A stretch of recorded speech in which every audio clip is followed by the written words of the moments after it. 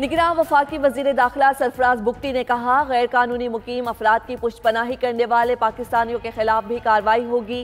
गैर कानूनी तौर पर मुकीम गैर मुल्कियों के इंखला से मुल्की हालात काफ़ी बेहतर होंगे। नादरा का डेटा लीक होना इंतहाई अफसोसनाक और तशवीशनाक सूरत हाल है। जाली शनाख्ती कार्ड बनाने में मुलविस नादरा के अफसरों और मुलाजमों का मुकम्मल एहतसाब होगा।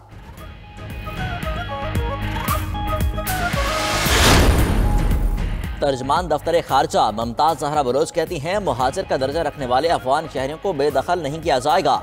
नाटी टू न्यूज़ के प्रोग्राम, हो क्या रहा है? मैं गुफ्तु करते हुए बोली, अफगान बहन भाइयों के लिए वीज़ा प्रोसेस नहायत ही आसान है। अफगान हुकूमत से बातचीत में वजह किया कि बेदखल करने की पॉलिसी सिर्फ़ अफगान शहरियों के लिए नहीं।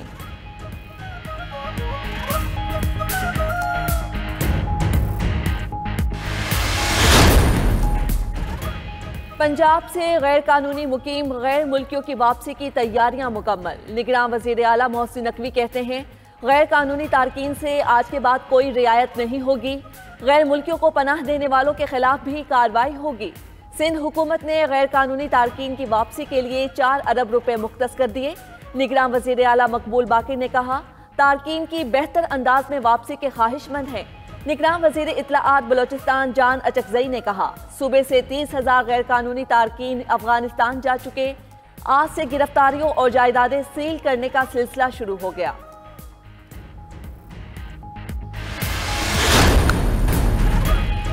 एलपीजी, नौ रुपए, छियानवे पैसे सस्ती, दो सौ इक्यानवे रुपए, तीन पैसे फ़ी किलो हो गई। घरेलू सिलेंडर एक सौ सत्रह रुपए सस्ता, दो हज़ार नौ सौ बासठ रुपए का हो गया। आर्मी मार्केट में खाम तेल के निर्ख तीन फ़ीसद से ज़्यादा तक गिर गए। पाकिस्तान में आइंदा पंद्रह दिन के लिए पेट्रोल और हाई स्पीड डीजल की कीमतें बरकरार। मिट्टी का तेल तीन रुपए बयासी पैसे, लाइट डीजल तीन रुपए चालीस पैसे फ़ी लीटर सस्ता। उधर बिजली की कीमत एक रुपए तीस पैसे फ़ी यूनिट तक बढ़ने का इम्कान।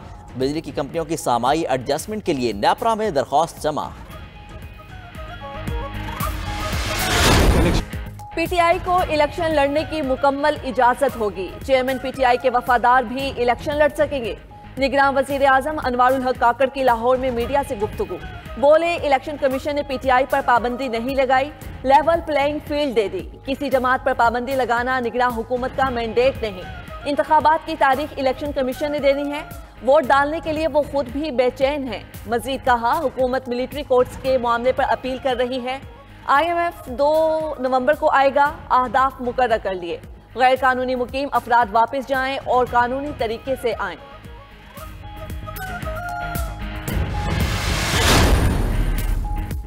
कायद नून लीग नवाज़ शरीफ का सियासी सरगर्मियों का बाकायदा आगाज़। इजलास की सदारत की इंतबात के लिए हमत अमली मंशूर और दीगर मामला पर फैसले।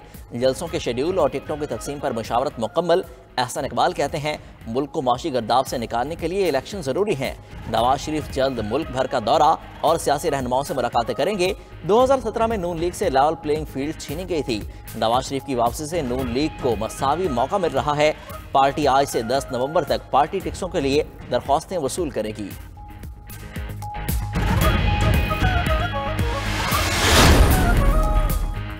सबक सदर आसिफ जरदारी की नाम लिए बगैर सबक वज़ीर अजम शहबाज शरीफ पर तनकीद नवाब शाह में कारकुनों से गुफ्तु में कहा सबक वज़ीर अजम को पीपल्स पार्टी ने बनवाया लेकिन उन्होंने काम नहीं किया सबक हुकूमत ने आवाम के लिए कोई काम नहीं किया नवाब शाह में पुलिस यूनिवर्सिटी कायम की जाएगी पुलिस यूनिवर्सिटी में भर्ती से कबल उम्मीदवारों को तरबियत दी जाएगी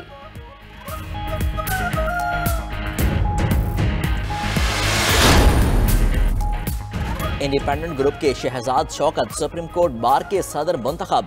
शहजाद शौकत ने प्रोफेशनल ग्रुप के मियाँ अब्दुल कदूस को शिकस्त दे दी। सबक वजी अजम शहबाज शरीफ का नौ मंतखब सदर supreme court bar Shahzad Shaukat को मुबारकबाद। कहा, उम्मीद है वो आयन की सरबलंदी और कानून की हुक्मरानी के लिए किरदार अदा करेंगे। कामयाबी पर एहसन भून आज़म नसीर तारड़ और तमाम टीम मुबारकबाद की मुस्तक है। मरीम नवाज़ की भी शहजाद शौकत और एहसन भून को मुबारकबाद।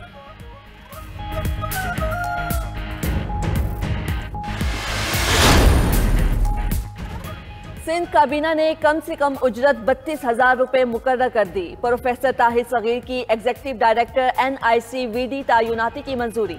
सिंध काबीना इजलास में सेक्रेटरी खुराक की ब्रीफिंग। बताया, सूबे में गंदम का आठ लाख उन्नीस हज़ार टन से जायद का स्टॉक मौजूद। पाँच लाख अस्सी हज़ार टन की किल्लत है। काबीना ने महकमा खुराक को 10 नवंबर से गंदुम रिलीज़ करने की इजाज़त दे दी।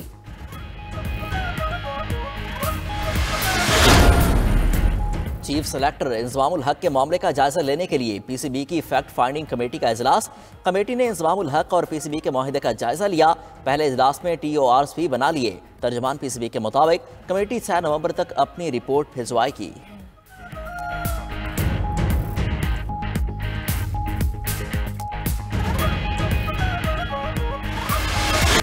पीटीआई को इलेक्शन लड़ने की मुकम्मल इजाज़त होगी। चेयरमैन पीटीआई के वफादार भी इलेक्शन लड़ सकेंगे।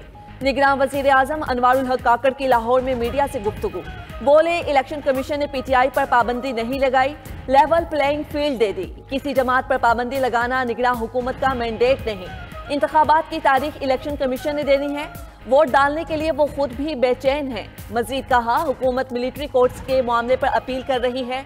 आईएमएफ दो नवंबर को आएगा अहदाफ मुकर कर लिए। गैर कानूनी मुकीम अफराद वापस जाएँ और कानूनी तरीके से आएँ।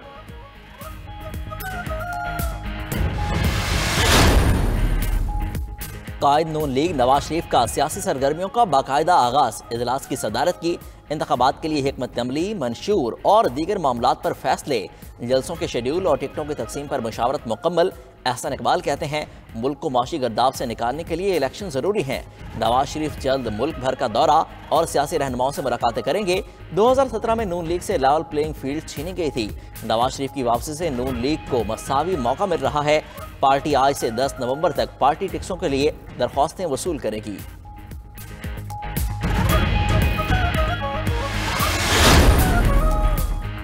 सबक सदर आसिफ जरदारी की नाम लिए बगैर सबक वज़ीर अजम शहबाज शरीफ पर तनकीद। नवाब शाह में कारकुनों से गुफ्तु में कहा, सबक वज़ीर अजम को पीपल्स पार्टी ने बनवाया, लेकिन उन्होंने काम नहीं किया। सबक हुकूमत ने आवाम के लिए कोई काम नहीं किया। नवाब शाह में पुलिस यूनिवर्सिटी कायम की जाएगी। पुलिस यूनिवर्सिटी में भर्ती से कबल उम्मीदवारों को तरबियत दी जाएगी।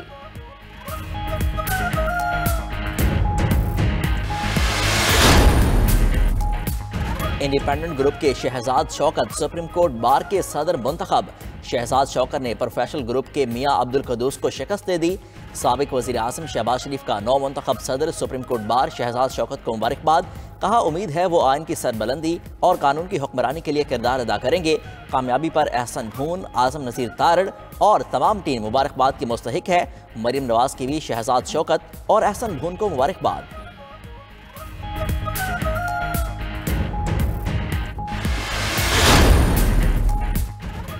सिंध काबीना ने कम से कम उजरत बत्तीस हज़ार रुपए मुकर कर दी। प्रोफेसर ताहिर सगीर की executive director N I C V D तयनाती की मंजूरी।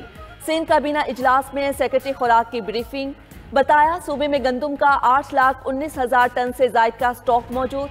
पाँच लाख अस्सी हज़ार टन की किल्लत है।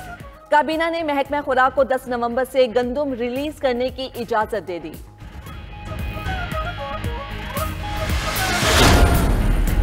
चीफ सेलेक्टर इंजमामुल हक के मामले का जायजा लेने के लिए पीसीबी की फैक्ट फाइंडिंग कमेटी का अजलास कमेटी ने इंजमामुल हक और पीसीबी के माहिदे का जायजा लिया।